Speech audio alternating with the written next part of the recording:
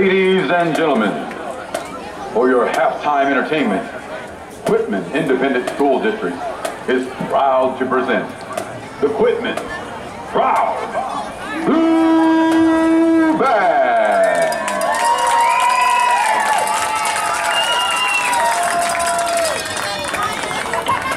Tonight, the band will be performing a portion of their 2019 halftime show entitled Out of Darkness.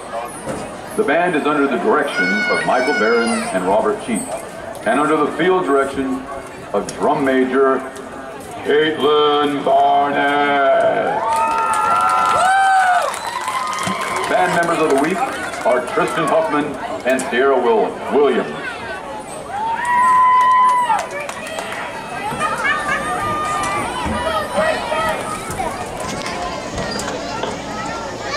Caitlin Barnett, is your band ready?